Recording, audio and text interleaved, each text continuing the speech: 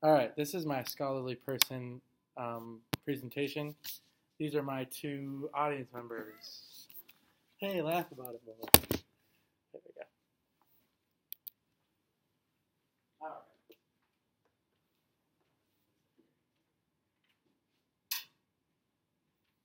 All right. So this presentation is about what I see um, as a scholarly person, traits and other things like that that I find in scholarly people and everyday heroes. And I'm going to tell you about my academic plan a little bit as well. Um, so traits of a scholarly person for me. Um, they're knowledgeable about their field, so advanced knowledge of their field that they are in or studied in.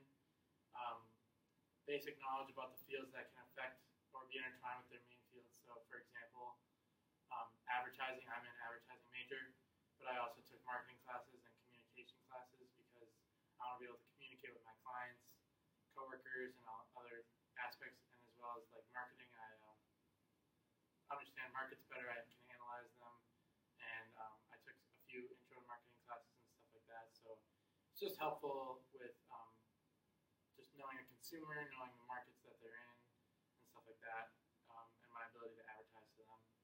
Uh, the ability to communicate is very key to me. Um, communication is almost all aspects of life. Needs to communicate with people above and below in you, and your job, and then um, communication within relationships as well. So like significant others, friends, and family. Um, organization skills because you need to keep organized to work hard to keep um, your tasks separate and your um, goals moving forward, and then a, a hard worker as well. So um, my everyday hero traits. This is kind of a long list, but um, kind, just because being kind doesn't hurt and they're all kind of similar. Um, but kind, be kind to everyone. They'll be kind back to you, and if they're not, it's just you were kind to them, so you kind of feel good about yourself.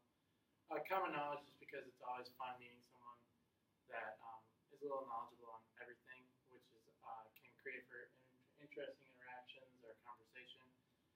Companionship, being a friend, friendship, friendly, kind of same thing. Patience is key to me because um, people make mistakes, so um, just the ability to stay patient with either friends, family, or coworker is just something that um, I think uh, everyday hero should have. And then just being caring. Uh, some people just need a person to listen to or talk to, and uh, if you can be that person just for someone, you can make their day or uh, just change their attitude, even if it's for a little bit. So my academic plan.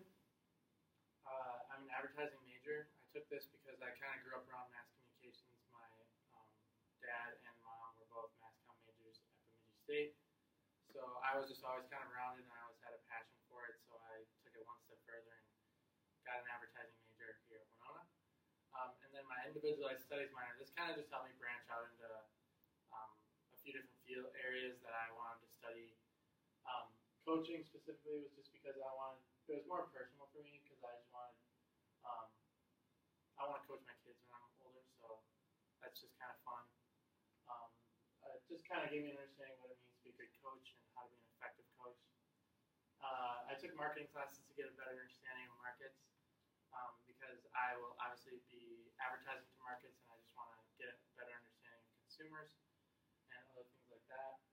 And then I took multiple communications classes for that same reason because I'll be um, communicating in my line of work a lot with either coworkers, clients, um, and other people.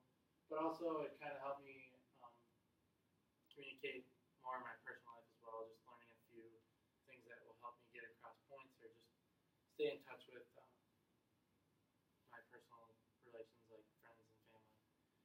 Uh, being an educated person affects me in the following ways, just kind of things that I see as why I got an education, why I continued my education. Um, I have a possibility, um, more of a possibility to make more money in my field, probably a little quicker than someone that isn't educated in the field.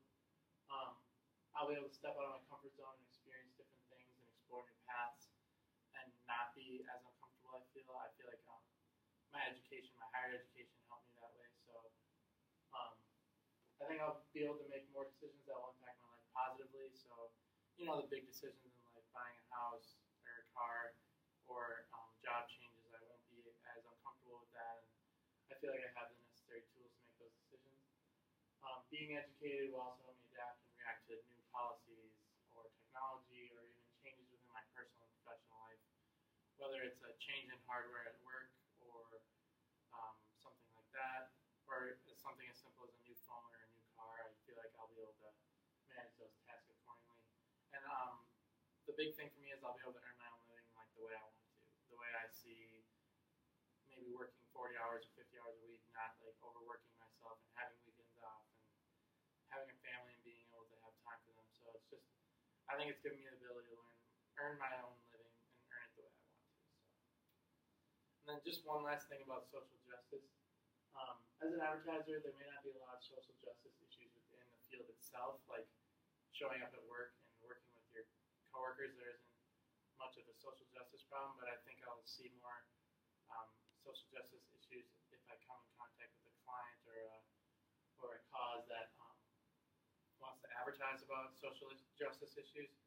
And uh, I'll have to make my decisions whether or not I will work for them, uh, if it's something I believe in or not, and if it's something I see fit to be advertised. So um, that's just kind of what I think I'll come across as with social justice issues um, in my field. So thank you for listening.